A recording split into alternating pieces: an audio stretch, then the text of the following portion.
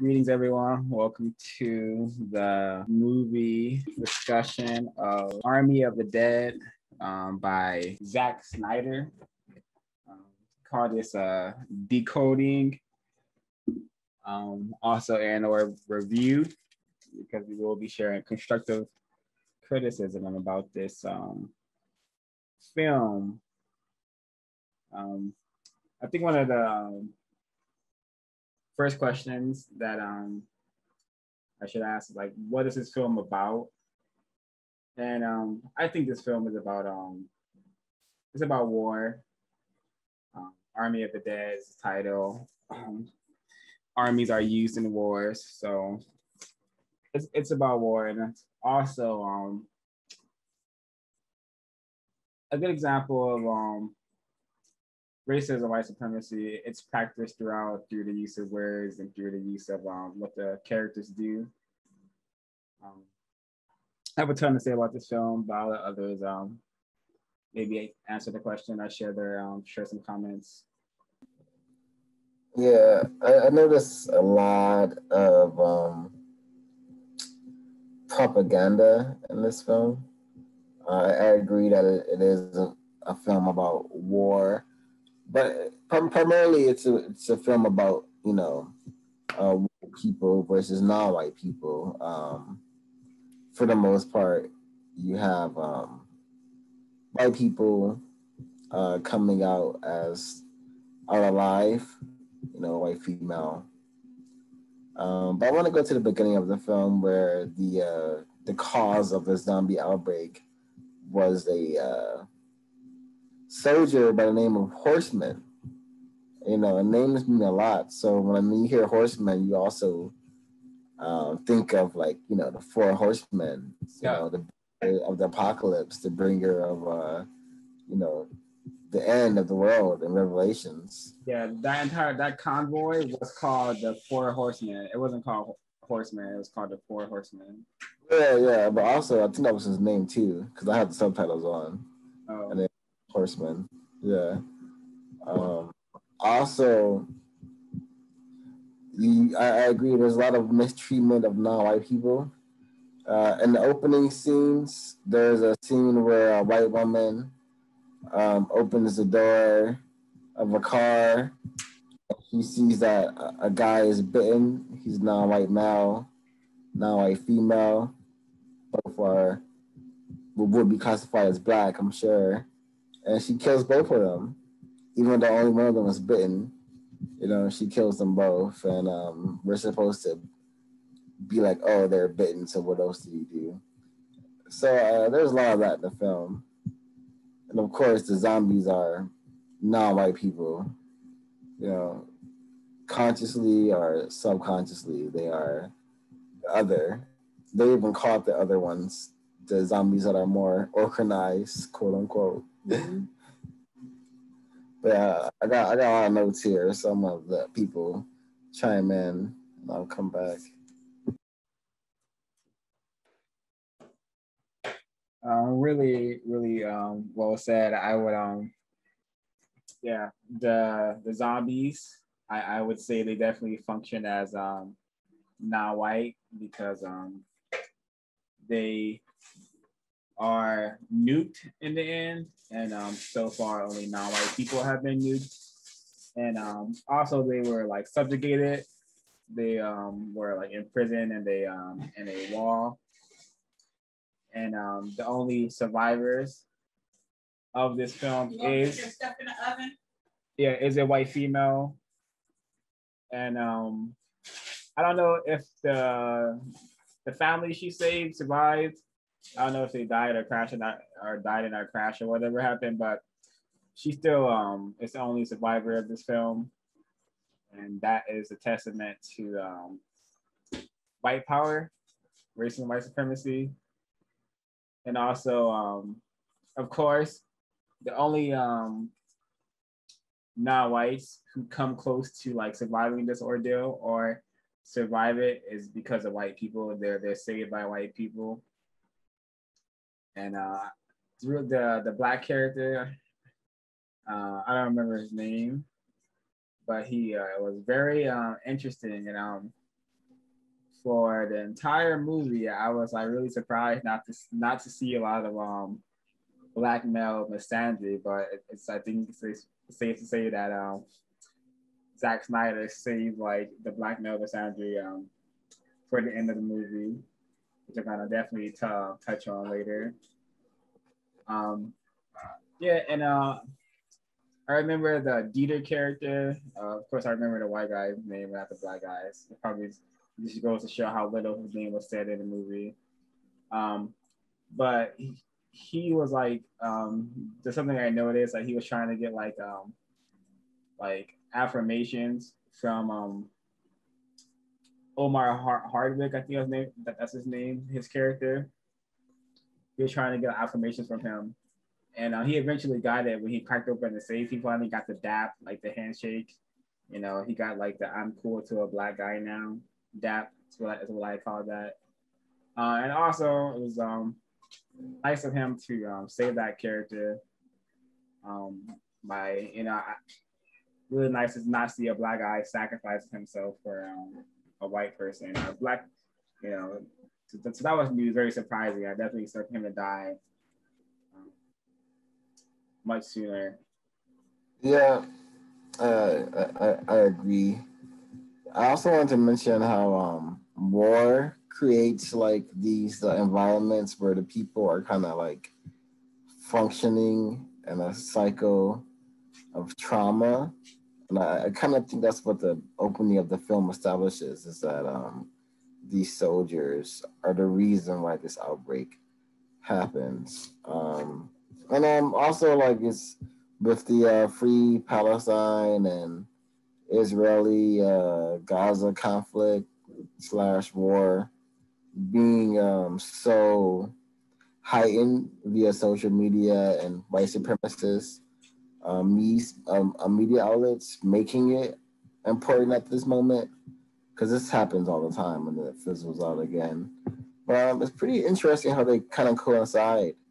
Um, and also the nuclear the use of nuclear weapons in this film is very symbolic. I, I am, I would not be surprised if things and the news were becoming more nuclear. People were talking about nuclear weapons or weapons of mass destruction. Because um, in the film, there's a character, White Mel, was suspicious the moment he came on um, during the team. Uh, white Mel with sunglasses and, and a black hat he kind of um, infiltrates the group and he's a saboteur, he's a murderer, a liar. He has all the functioning um, behavior patterns of a Yurugu, of an incomplete being.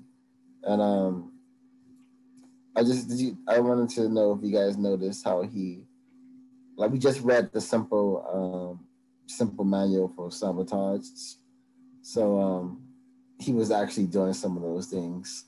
You know, he set up several people to die, um, and just just he behaved like a uh, you know white supremacist basically. He did he he got information before revealing information about himself. Um, he was able to get non-white people to fight each other and die. Was able to lock people in places. You know, and white people are really they really enjoy locking non-white people in places. You know, some examples would be the uh, you know industrial prison complex where like well, 80% of black males are in prison, something like that, some absurd number. And um, the ICE camps in America with the, all the uh, non-white brown children and, and women and men and males. But yeah, yes, lots of stuff in this film. And um, I, I, I do believe he saved the black male misandry because uh, not, not not to get into the ending so quickly, but um, that's because this black male is gonna be the cause of a whole new wave of death. And um, it's because he's gonna be like a super super nigger zombie, I, I imagine. Yeah. And the sequel that they're gonna try to push, he may even be able to talk. You know. Oh my god, uh, Miss B. What's that say? Wow. the character that Sir is talking about, his name was Martin. That was the um, right hand man or the, I guess, the henchman for the Chinese guy. I forgot the Chinese guy character. I forgot his name. He, he was so called Japanese. Oh, Japanese. Yes, Japanese. Yes, because they had a line about he used the he used the line. What did he say? He said, um, oh, I wrote it down. Oh, I'm skipping, skipping. Yes, Japanesey and and and dirt and dirt. The, the, the white guy, the guy who's going to practice, they said, "No, you can't say that." And they're like, "No, I think you can. He, he's Japanese. I think it's okay for him to say it." And then he turned around and correct, corrected himself and said, "Lemon, lemon squeezy," like how the that was funny. Mm-hmm. But um, anyway, going back to the very very beginning, um, I thought it was interesting when they said the original Constitution, the one that was written in blood, um, I thought that was interesting. And then they had another uh, line. They said the headpiece staff of Ra.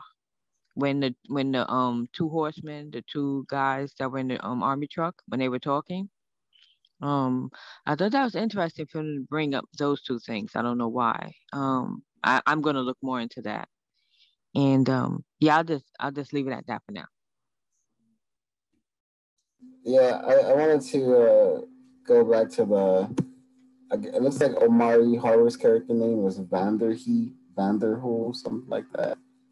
Um, but uh, there's a there's a a scene where, where the people who are going to be involved in the heist are being introduced, and um, you see everyone with guns. But when we first see um, the black male character, we see him with a chainsaw, a tool you know, not a not not, not a weapon, not a gun, a tool.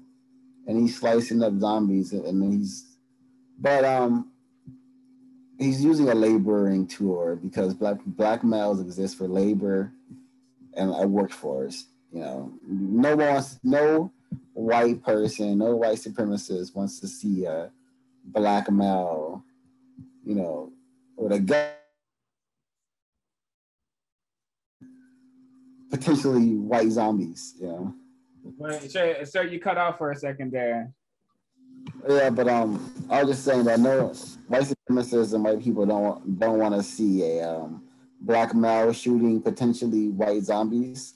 So it was interesting how they introduced him first with auto weapon, you know, and then the, the next scene is a white person being introduced and they have two guns, you know.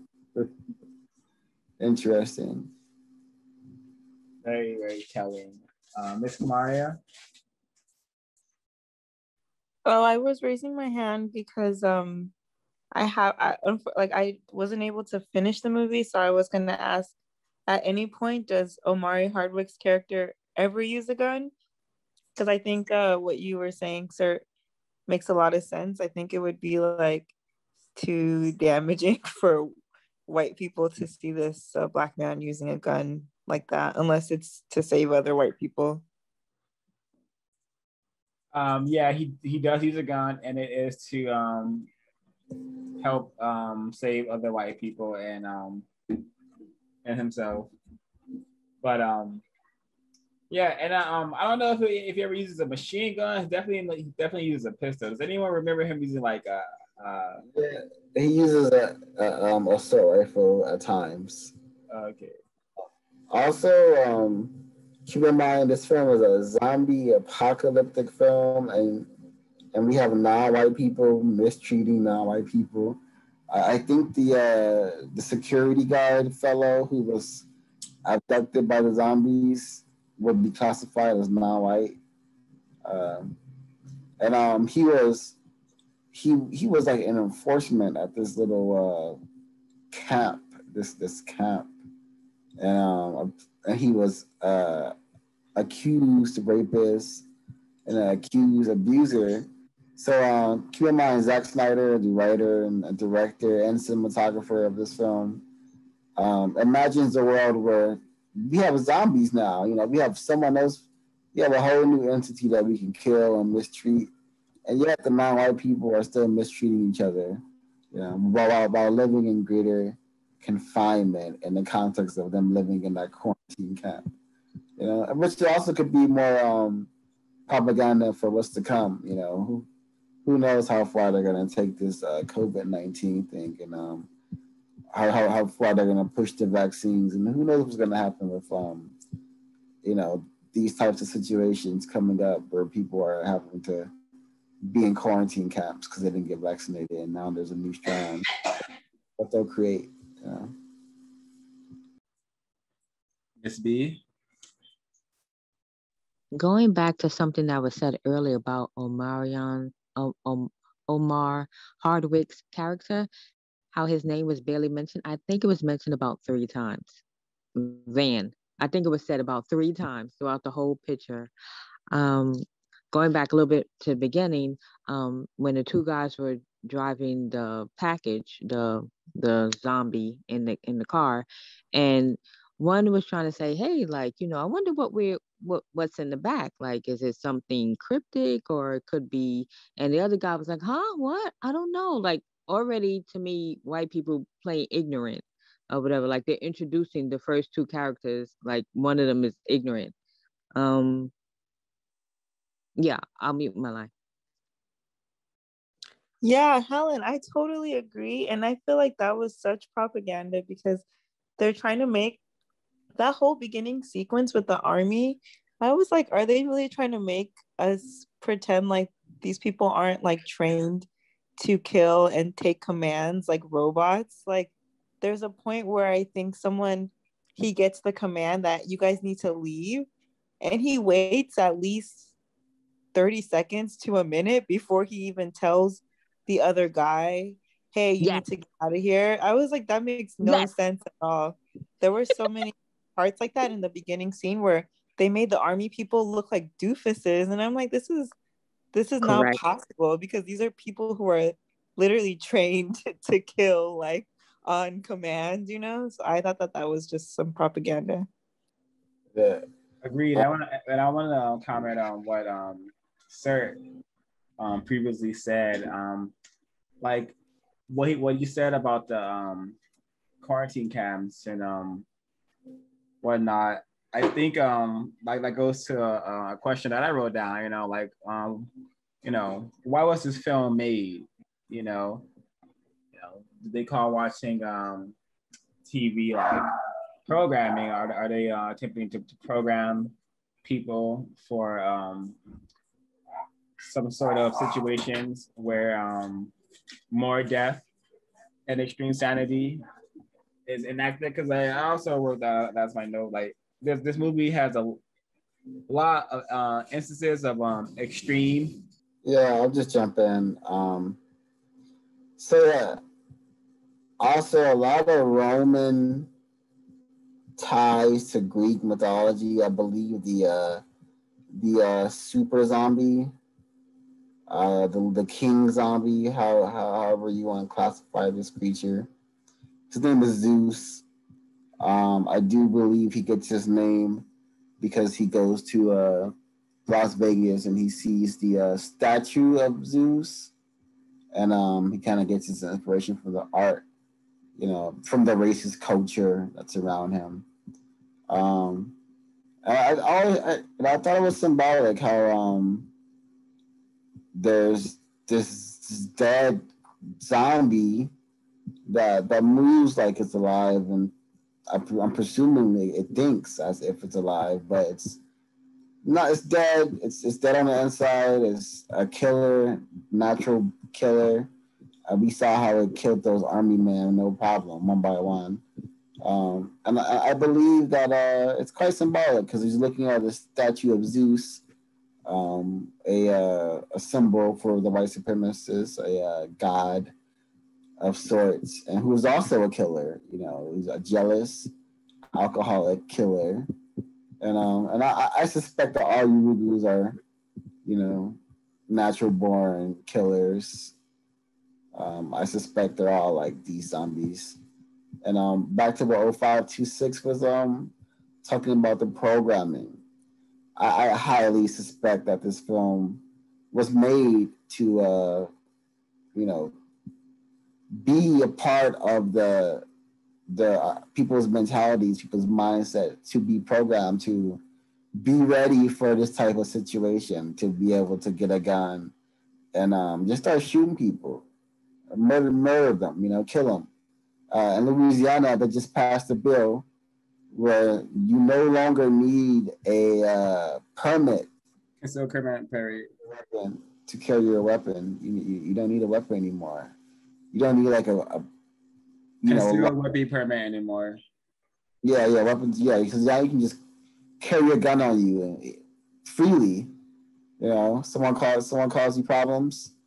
Uh, if they're if they're non-white, just shoot them in the face. Uh, I fear for my life. I, you know, that's that is what this movie is made for. You know, to condition people. Shoot on sight is fun. Killing is fun. Look how fun it is, right? You know, that's what the movie is telling you whenever a zombie gets killed. Look how fun killing is and, and also I think the character who had like who was non who may have who, who I suspect to be non-white who had like the blonde stripe in his hair.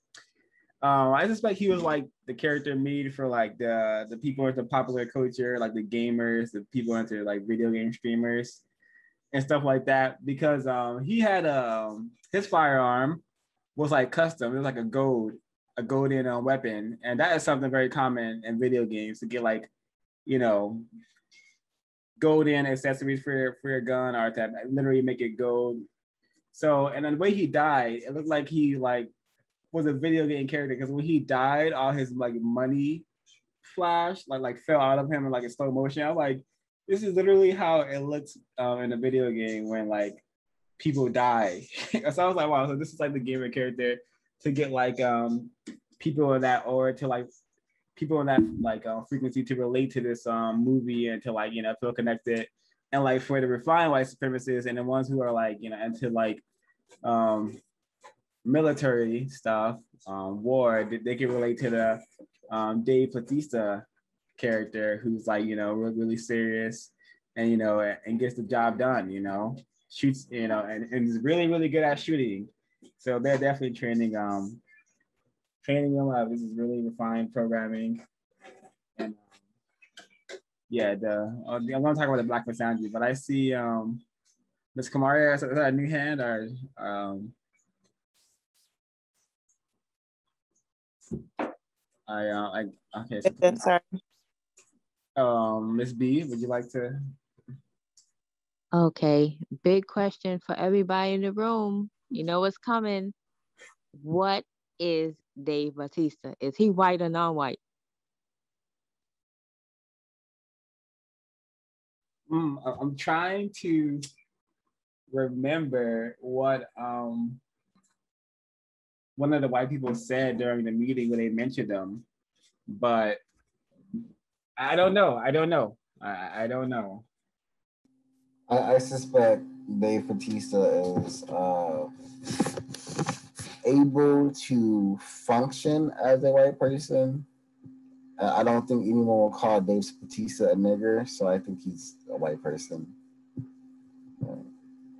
Yeah, I think I think he can he he be totally fine at a white supremacist rally. No one will question, "Hey, are you white?" No one's gonna come up to him and say that.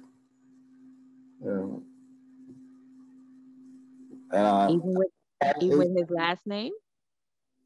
I mean, it's just the Spanish people are white, you know. To me, you know, people who are like people from Portugal and Spain and like Italy, you know, they they have those uh, ethnic names. Uh, to me, they're white people. And people say Vin Diesel is um, non-white, but you know, he's a white person to me because no one's gonna call him a nigger and throw coffee in his face. Actually, Vin Diesel has a black parent. Surprisingly, if you look at pictures of him, I, I, he transformed himself to be white. Honestly, but if you look at other pictures of him, I would say he looks like a at least a person who has like mixed black heritage. But I I agree about people from like Spain and Italy, etc. Um, my audio cut out. I did not hear um, your answer at all, Miss Kamara. I would like to hear your opinion on that. I was trying to bring up is still of Dave Bautista. Oh no, I was just saying that um the Vin Diesel has a black parent. Yeah, what was your answer to Ms. Helen's question? I'm sorry. Could you? Could you? Oh, Dave Bautista. I I have. I'm looking him up. Him up right now. So.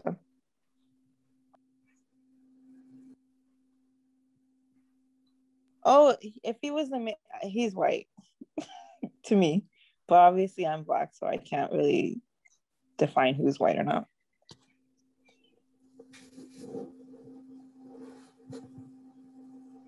And do you miss Helen? Say that again. What's your answer to the question? I think that he is not, I think he's non white, but he's able to. I think white people allow him to act white or uh, not act white. I don't want to say act white. Act him. I think he's non white, but he's allowed to play parts of a white man. That's how I want to put it. Hmm. Is that only in um area area um three or in um all areas? Do you think he is allowed to function as um white? No, I, I think it's sometimes. Sometimes he's non-white, sometimes he's white. He did a movie where he was like the bodyguard for a little white girl. I was like, oh, this makes sense. yeah. So I think he was non-white in that movie. Hmm. Yeah, well, I think it's a movie. Um, he functioned as um, would you say he? I think he functioned as a um, non-white person because he because he, he died at the end, and um, not only that, but like like did anyone catch that he was like saying Kate when he was like a when he was like a zombie, or, or was I just hearing things? Uh, I didn't hear any cognizant. I just heard a zombie screaming. Uh, okay, I, th- I thought I um heard him like like growling Kate, but um he did die. He he he he did sacrifice himself to save a white woman, and I think that's like the role um non-white people are supposed to play. You know, dying to um, save a white woman. So that's why I think he functions as non-white. But as for like you know being serious and and, and um, getting the job done, that is definitely like um, more in line with how um, racist men and racist women operate um, in 2021. Does anybody remember how Kate was talking to him? when she was talking to him and she was like, I'm going on this mission, and he was like, No. yeah. Uh, Yeah. the, the, the racist uh, woman roles are always so like um just really really distasteful for to me uh and um like we have to see this like i think it's really stupid well what um like her trying to go into like you know a zombie infested las vegas. And she has like no training for that sort of thing. You know she's just a, a, a regular um, white woman.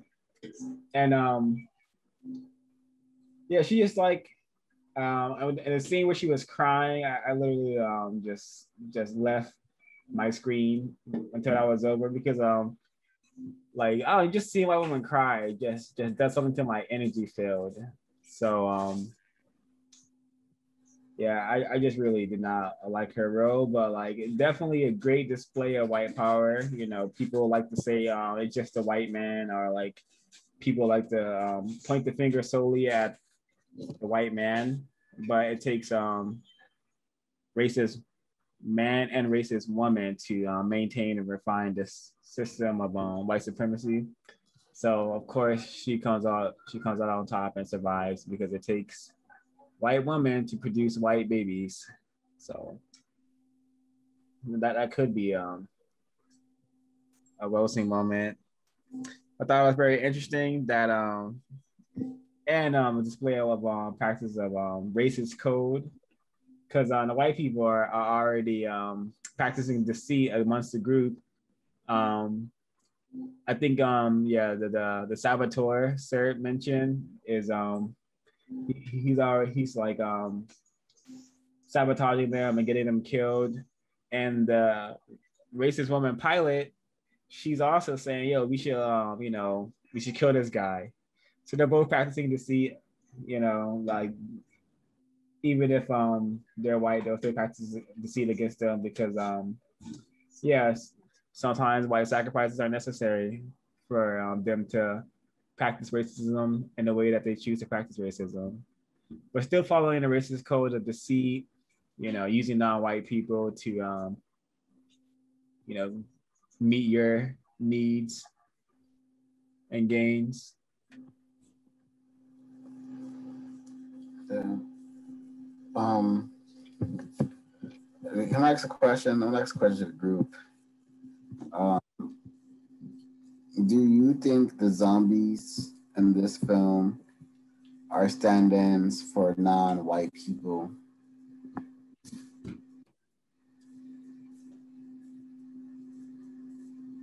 I would say, I would say yeah. I would say yes, but I also think it's um it's double layered. But I would say yes because um um and um, they are like humanoid um, creatures or, or whatever, and um, they um, do display that um, they're capable of developing like you know um, emotions because we did see a zombie cry in this movie, which I don't, I don't know if a lot of people have seen that before, but um, very very uncomfortable. Yeah. So like you know, it's like you know, yeah, black people have feelings too type of moment, kind of for me and like but um Same. yeah so i think um white people have been trained to like view everything humanoid with a conscious um, that can think as a non-white person especially a black person so um yeah possibly um and i also say the double layer because you know the creatures are pale you know and the creatures do go around you know, killing and destroying. And um, that's what white people do as well. So, yeah. Yeah, I thought for a moment, I was like, okay, these the zombies were white people. And then a next the next minute I was like, oh no, they're non-white people. But when the the lead zombie took the baby out of the lead female or lead woman zombie and was screaming because the baby, I'm like, oh my God, they had sex and had a baby? I was like, oh, this is new. Then I was like, oh, I then I went back to thinking that they were white at that moment for some reason.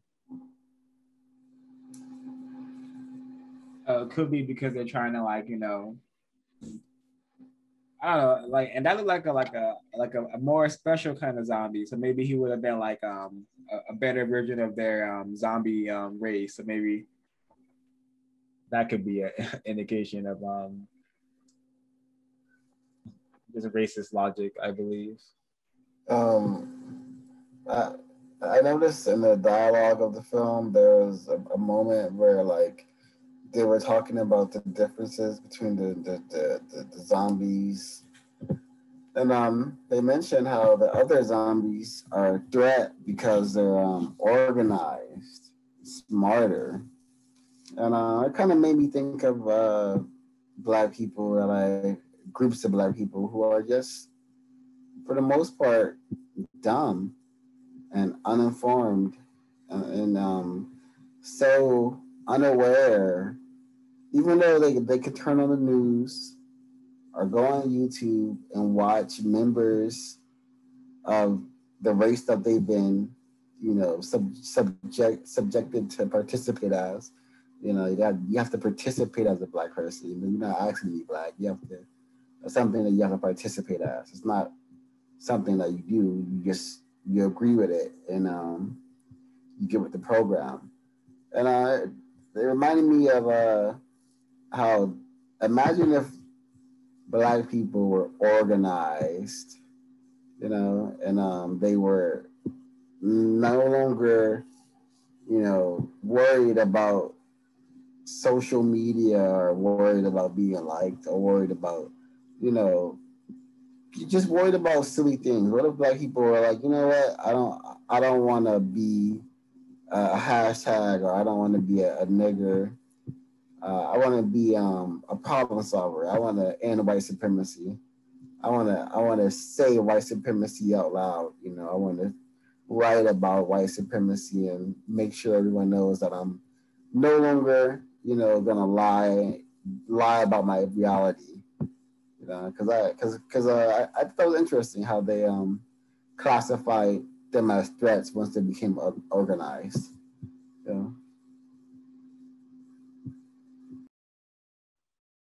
Very very well said. And uh, yeah, imagine if um non-white people, especially black people, attempted to practice code, you know, that would do a lot to um you know, disrupt the system of white supremacy and um, also just end so much conflict amongst non-white people as well. Um, Sorry, I had a question. Um, so Helen, uh, if you could clarify, so that in the movie, the zombies could have kids with other zombies or with other humans.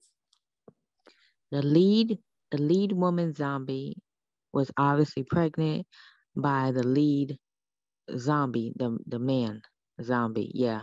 Um, she was killed and um he reached inside inside of her stomach and he pulled out, you know, like you could think of like a C-section. He pulled out a baby that was obviously a zombie, I, I believe. Oh wow. Okay, thank you. So then I would say that the zombies are definitely uh non-white people or I think at least based on Dr. Welsing and like the fear of genetic annihilation, like if if they can even like reproduce, then I don't think I've ever seen a movie where the zombies can reproduce. That's really interesting. Yes, yeah, yeah. I've never seen that either. That was new.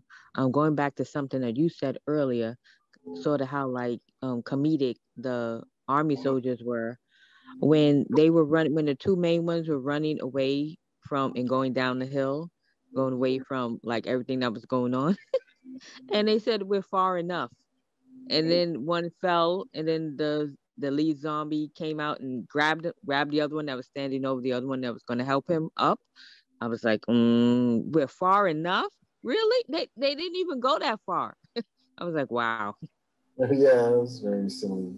Yeah, not only did he fall, but he fell and discharged his weapon. Like I don't think that happens in a um, war where um, racist men, racist suspects are literally trained like quite efficiently with these um, firearms. So I don't think that happens often. That's just like trying to uh, present white people as um yeah like not serious about racism, which they very much are. So um, yeah, really, really wow, that's collaboration. Yeah. Um, I kind of want to talk a bit about um, the, the the character that was sent by the government or sent by some type of uh, enforcement agency. Um, how there was a uh, a level of mistrust amongst the uh, non-white female that he killed first. He set her up to die, and um, I think oftentimes white people put this in their films to kind of showcase like reverse racism or what they imagine or what they classify as reverse racism, which is not even real. But a lot of things white people uh, say and do are uh, not real, like Blue Lives Matter. Like it's just nonsensical. But um, I thought it was interesting because they they were pretty correct and not believing the white male who came aboard and um, who was quite secretive. Uh, he turned out being very, very like bad for them, killing multiple members and setting them up and um, violently uh, he made a zombie cry. He uh, killed the zombie's girlfriend. Martin. Queen, and um, Sir, that's Martin. I know Martin was the. Uh, I think Martin was. Well, was that Martin? The, the, the that's his name. Yes, that's the one that set them up. That that set up that girl with the red bandana. Yep. Yeah. Yeah, that was Martin. Martin was uh Martin represents white supremacy, you know, like I'm gonna I'm gonna get what I came here to get by any means necessary. You know, uh, I'm skilled enough to kill the pilot and take the plane. I'm skilled enough to, uh, you know, capture these advanced zombies with, with my uh, technology, my weapons. Uh, I, I have been provided with access by whatever enforcement agency I work for. Because remember, he had keys to get in and out of his casino. You know, he was able to lock them inside the casino because of he had the key card. Um, but yeah, he definitely represents like the uh, the white supremacists who are who are all about keeping that business going. You know, he came here to get not money. He came here to get the zombie's head. You know, he came to get what he said. I can either take this and we can become immortal, or we can have our own zombie army, or we can have a weapon of mass destruction. You know, he said those things. Yeah, this movie is um really, really sophisticatedly like um coded with um racist messages. Because if you um think about it, like who are we supposed to blame for like those people going in there trying to get that money? Um, you can you can place that blame on the um, Japanese person, you know, who's a non-white person. But you know, the people responsible for that whole situation are, of course, uh, white people, racist man, racist woman. So um, really, really refined and really, really well hidden. Because like the people who are uh, who have caused the most problems to planet Earth in this movie, uh, from beginning to end, will um, be non-white people. But um, white people started all of that destruction and chaos and the war. You know, they, they started the war because, like, you know, if this movie is about war, it must be about the only war happening on planet Earth, which is the race war that white people have um, decided to start against non-white people, especially black people. So um, really, really recoded, really, really um, a film that is a good example of um, refined racism in Area 3 entertainment.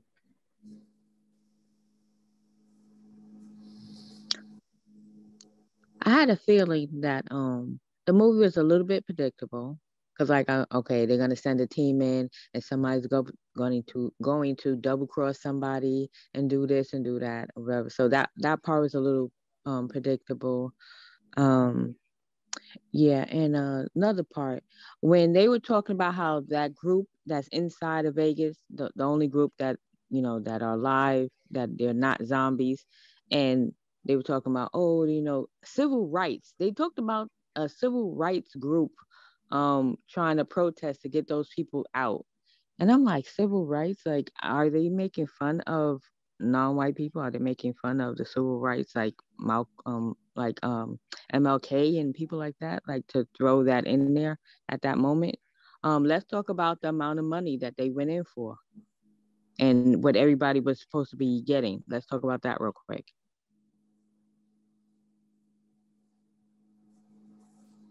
Yeah, I, really um wasn't um paying too much attention to that, but I did notice that some were getting millions and some were getting um, just hundreds of thousands. And um, yeah, I did notice that um, um, Dieter got um, um, quite quite a low amount compared to um, the non-white people. Or um, I don't know if they they please uh, is white or not in this in this in this film, but um, his character as well. I also this movie is very predictable because the moment I heard him, I saw the, the um, main zombie character like put his head to the zombie's um, belly. I um, knew she was um, pregnant but I didn't I didn't think it was because they were um, having sex because I really don't I can have never imagined zombies ha- having sex. I just imagined that she was pregnant when she got bit or something. But uh, yeah, that definitely uh interesting. Um, uh, yeah, I think your um, theory definitely makes um more sense than um, um me suspecting that she was um just pregnant while she got bit.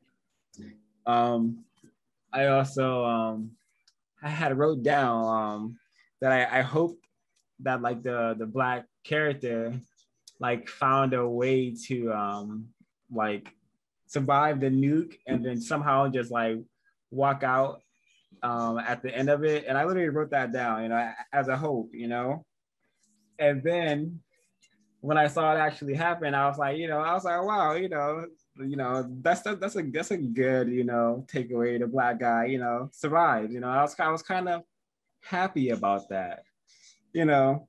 And then he gets on the plane you know and he's he's, he's having like a, a, a non-constructive time with um white women.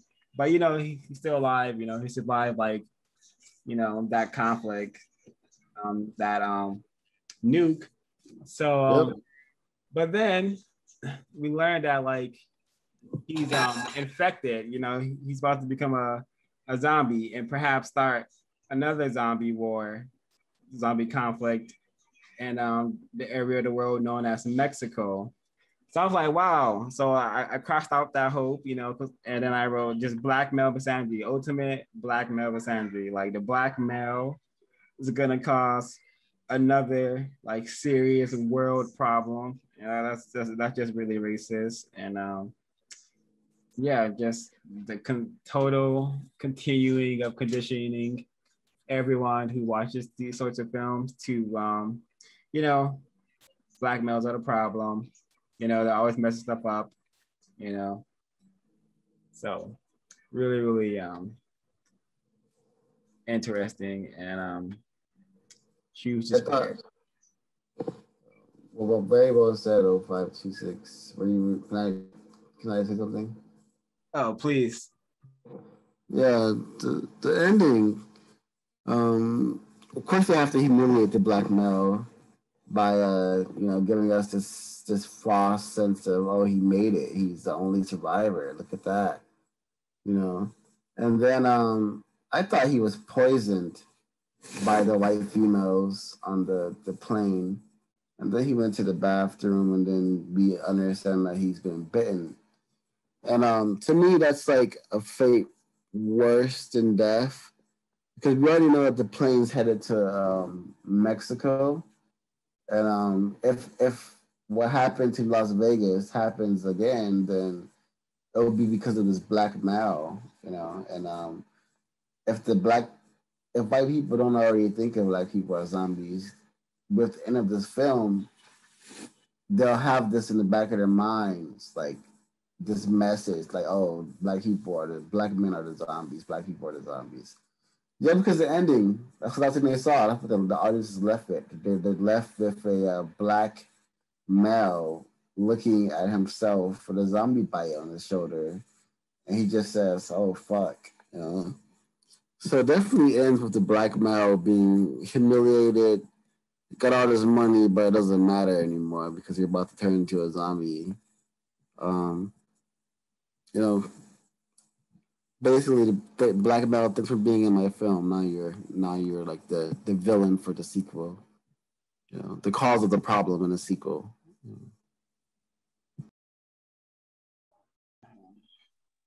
I definitely agree. Mm-hmm. Yeah, I definitely agree with both y'all on that. And um, since we're skipping to the end, um, I I found it interesting when when um Van Omar, I mean, yeah, Omari Hardwick, when he was going to buy the plane, he was like, "Oh, I want that plane right there." He survived everything, and he's like, "Oh, I want that plane right there." And she's like, "Oh, sir, you know, I'm not sure if you can. Now that female, if I'm not mistaken, was non-white. And then he takes out all this money and he puts it on, and she's like, okay, I'll see what I can do. And I'm like, what? Like, she's, I don't know, she was giving him like attitude before, whatever. And now that he pulled out all this money, oh, oh, oh, yeah, yeah, you you can get this plane. And I'm like, mm, And then he gets on the plane, there's two white stewardess that see him, you know, that are serving him the wine and this, that, and the other. And I, I thought that was really interesting, that part. Yeah. Black males get a lot of money. You could get a white woman and you can, um, you know, not be, not be mistreated as much by other non-white people. Um, um, is it an act of racism that Zack Snyder um, gave like this false, like he, he, he like for, for the um for the black people who are a little bit less confused about the race problem, he gave them like a false sense, oh, like the black guy survived, you know, you know, this film, you know, wasn't that racist. And then he makes the black person like, you know, the problem, you know. So I think that's a active racism, you know, it's like a like a like a visual slap in the face. Um, I think. And um yeah, just really, really interesting. And uh, also like um just the way um Omari um the character spoke, I like it, it, make, it makes me think that Zack Snyder hasn't interacted with a black person for a very long time. Because there's a line where he says, um, that's heavy, brother, but I dig it. Something like that. I'm like, like this is really like, you know, old slang. So what's like the last time um Zack Snyder? This is like really like you know, the last time Zack Snyder has interacted with a black person because this character is like, uh, I mean maybe it's due to his age, but um, I don't know. It just it just seemed really um like not realistic diction, you know, for that type of character.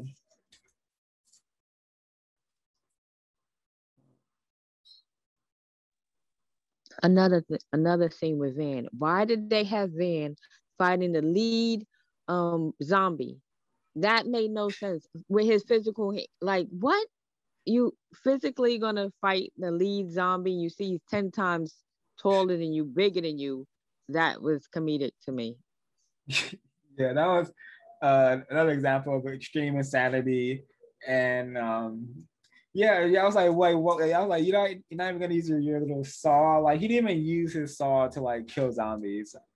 Um, but um, yeah, I was like, wow, this is um really, really silly. He should not be um trying to fight this this zombie. Um, yeah, and they were just really not smart. They kept shooting him in the head multiple times. How many times have to shoot something? Now, I don't even want to go into like, all that, but I did notice that um as soon as the non-white, I don't know, um yeah, she was a non-white female, right? Who was um helping um um Scott Ward throughout the movie, like the one who was like her his right hand man. I mean, her his like right hand man, the chick. Was she not white?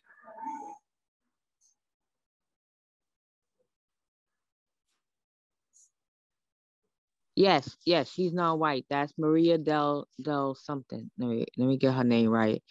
Maria, no, Anna Anna de la La Raga La Rega yeah, I might be saying it wrong, but um, yeah, that's Maria Cruz. Her character name was Maria Cruz.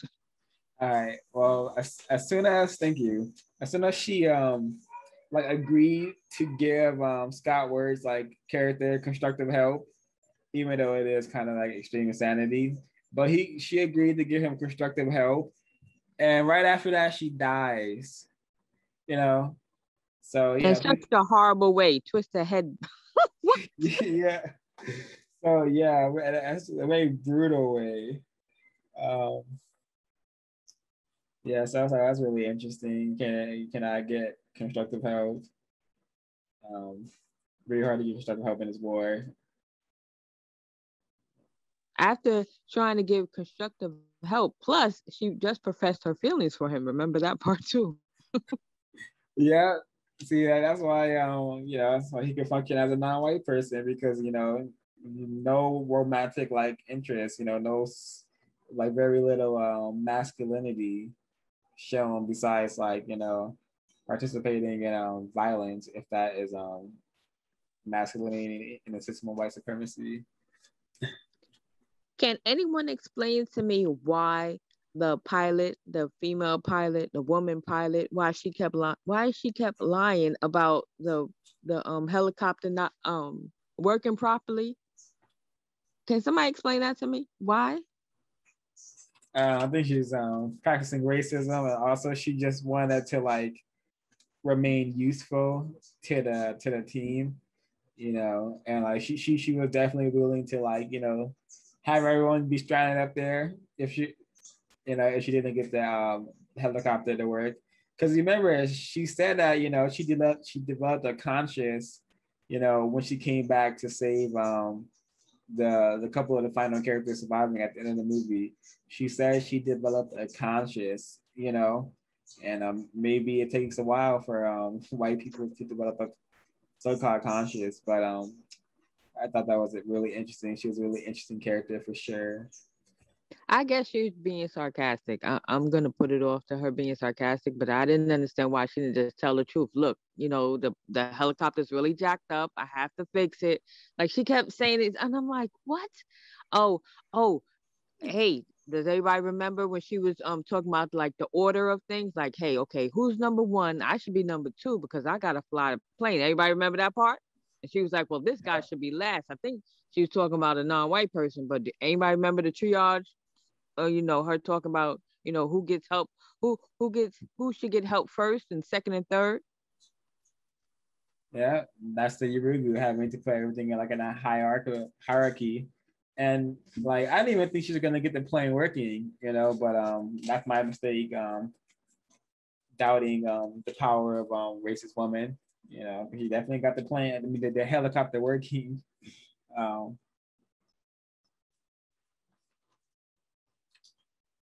was there anything else that anyone um noticed?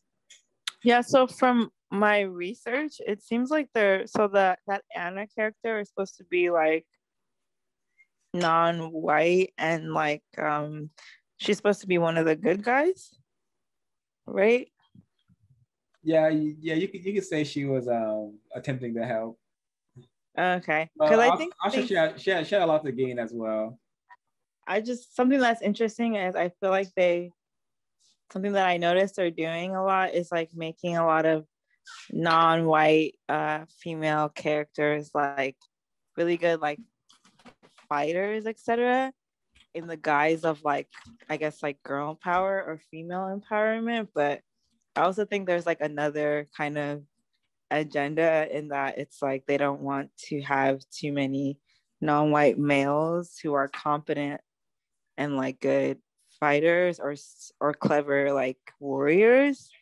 I don't know if if what I'm saying makes sense, but it's just something I was thinking about when researching it.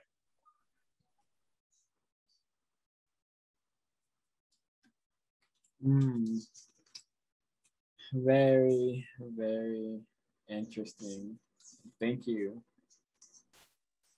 Remember how um Chambers, um the bandana lady, how she didn't trust Martin, the the bodyguard, the white guy.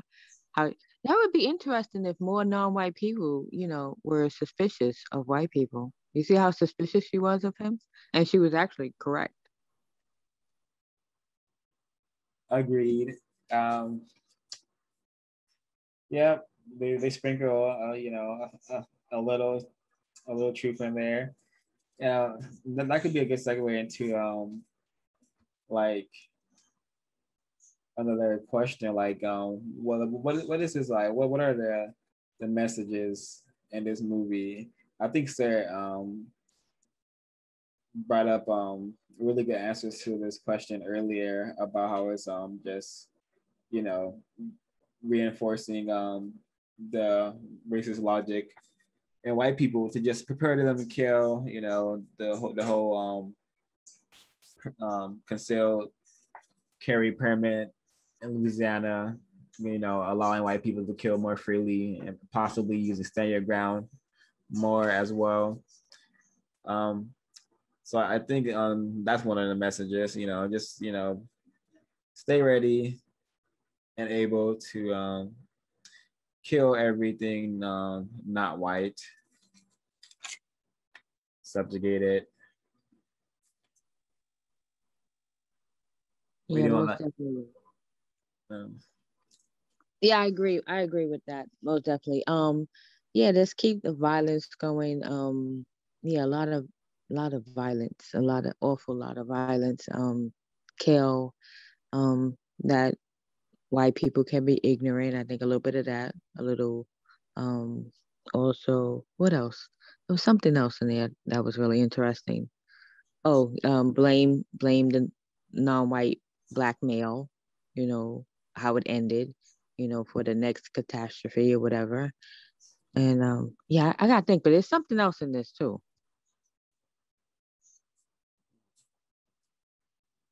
Yeah, I, I would say um, I would say there's a lot. Um, lots of uh, white sacrifice. Um, the the like coyote who was like you know taking people into the zombie zone, um, which is really um, non-constructive. Why are you? Uh, why is a white woman taking um, non-white people into a um, a war zone? Because like you know, Army of the Dead. That's where the zombies are the enemies in this movie. So that's you know enemy occup- occup- uh, occupied land. So that, that that's where she's taking you know victims of um the war, victims of racism. So really um you know well hidden racism is being practiced throughout this movie. And uh, oh, let's not forget the white ally, the white ally, Katie, Kate.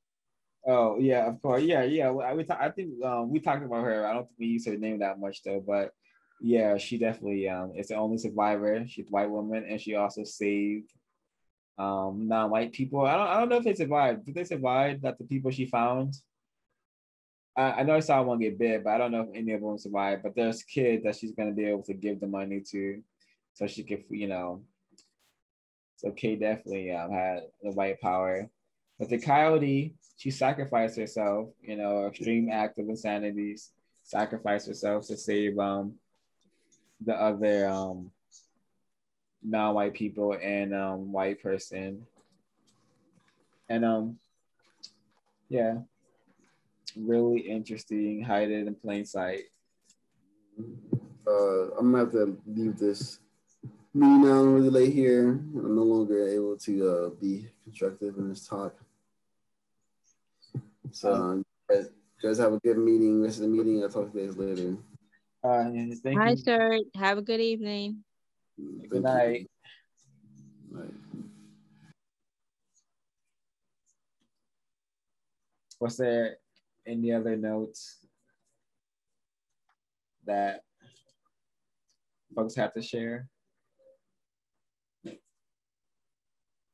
Mm, no, no, not really. Let me see. Um, Oh, when um when the, the safe, the safe cracker, when he first saw the safe, you remember what he said? He said, You he said, You've been in the dark waiting for me. You're so beautiful. And I was like, Oh, that's a I think that's a Welsing moment. Oh wow. I yeah, because you know, you know, the, the white is this, is this supposed to be the white light, you know? Mm-hmm. really, really good catch. Uh, definitely um, missed that. And also another thing, um, remember when like the zombies were around him? Like I think one touched him for the first time, and he screamed how he sounded just like a girl. A few times he screamed just like a girl, and then yeah. when he finally did kill um, a zombie, I think the bride or whatever, how happy he was and excited, and I'm like, oh, okay, yeah. Mm-hmm. Dang. So, so, so you have to kill a non-white to to get over that fear of genetic annihilation, and then get really serious about your racism. Wow, I, I really what you said made me think of that. Wow, that's really uh, a good catch. And uh, was Omari Hardwick like his sidekick? Or like, because I, I really like, you know, that's what it seemed like to me that he became kind of like um, his sidekick or he just wanted to be he just wanted to be buddies with him. I, I, I don't know. Oh, I had a question for um everyone. Who do you think is the intended audience for the film and why? Like, what messages do you think that audience is getting? Oh, good question. That's good. Oh, I gotta think about that. Uh, I think it's for. Um, I think it has a huge audience now because like this is gonna reach a lot of non-white people and white people. I think it's gonna reach a ton of white people because um, Zack Snyder uh, has made so many uh, movies in different um, genres. He's made like 300, which is like you know, like a Spartan type movie, and he made um, recently um, the Justice League movies. So like he has a really really uh, a lot of traction behind his name right now, and like people are heavily uh, deeply entrenched in like uh, comic book movies and like those characters so I think this has a huge audience for non-white people and white people. Um, I think it's gonna further the confusion that white people can be ignorant about racism and white supremacy and reinforce the racist suspects and white people um, how to practice racism and um, just keeping them ready to um, practice direct violence and indirect violence so I think it's made for gamers. I think it's made for um, the the average non-white person and the average white person who uh, consumes a lot of um, we spend a lot of time and energy in um, the area of entertainment. Uh, made for people who like comic movies. It has a, a huge, huge audience. Um,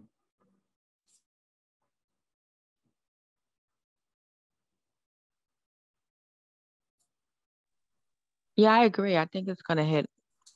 I think everybody. Um, definitely. I think males, men, because of the violence, the action, and um, a little bit of a romance, a little, a touch bit of that, but not really. But yes, it's definitely gonna. I think it's gonna be popular. Definitely, most definitely, with everybody.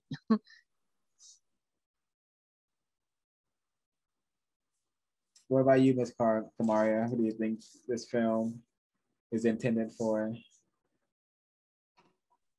Um, well, again, I didn't finish it, but I agree that I mean they they try to market things to like as many people as possible. Um, but I always feel like anything that has to do with like zombies and stuff usually has to do with um like non-white like it's about white people's fear of non-white people taking over so i think all the messaging at least is for white people and i'm wondering if it has to do with like all of this sudden like people are suddenly very fearful about china having all this power or something so i always I thought it was interesting that the guy was a japanese business guy but I think that the so I think that the the messages is trying, especially I don't know. I just think it's so interesting that this these zombies could have kids, and that's why I really think it's I think it's for white people, and that messaging is for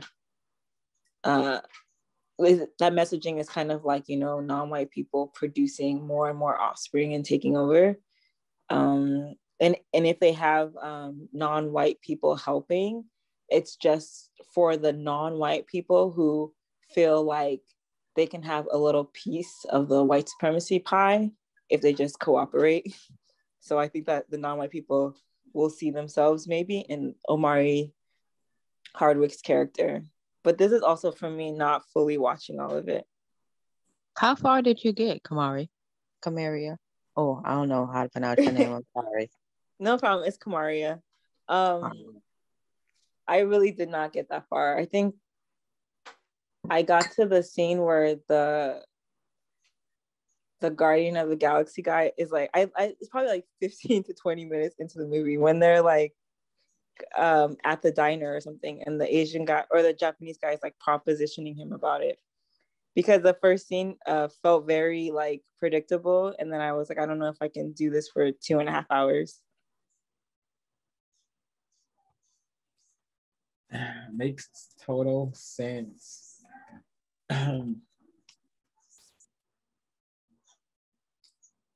Helen. Oh yeah, you you you, you answered the question. I, I remember.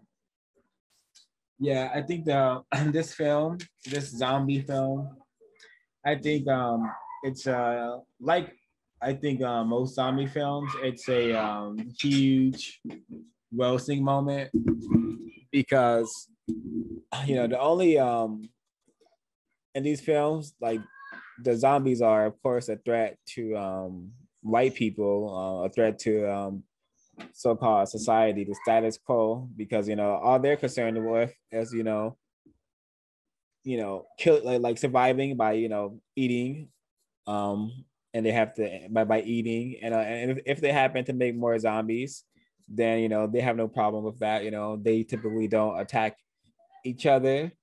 You know, they just you know expand. You know, and that is um a threat to um, system of white supremacy. You know, um, that sort of um, behavior, you know, not attacking each other and just, you know, surviving and um uh, they were like they uh I think they even were like um, the the zombie was able to communicate like, you know, constructive information to them, you know, because they were able to like, you know, trade with the people.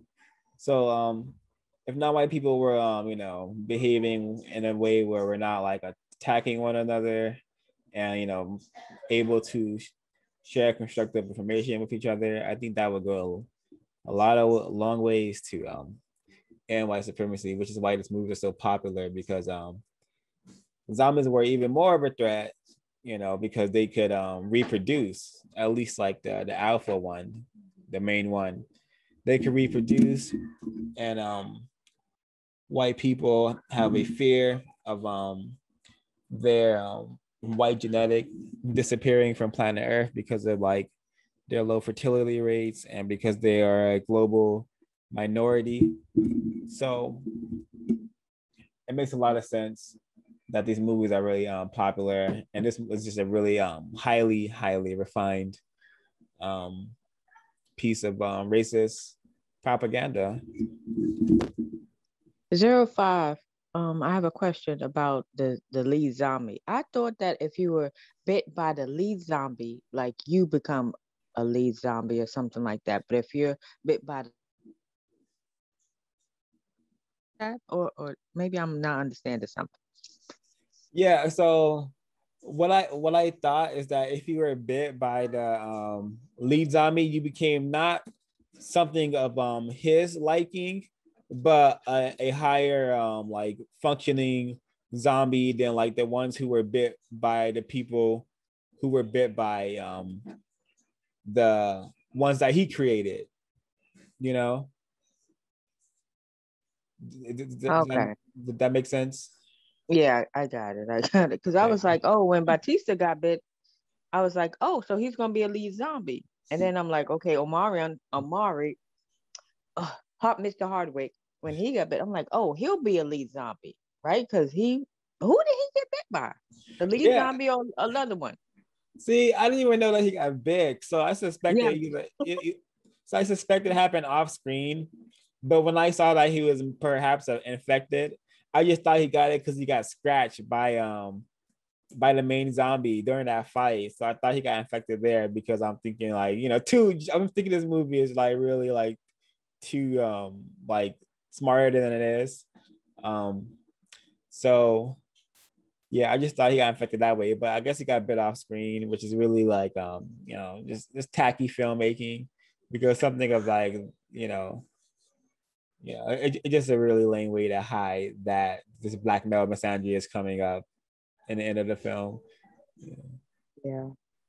You know, it, you know, it's, it's like, you know, allowing black people to think that this guy is actually going to survive this. You know, black people aren't supposed to survive stuff like this. You know, they're not smart enough.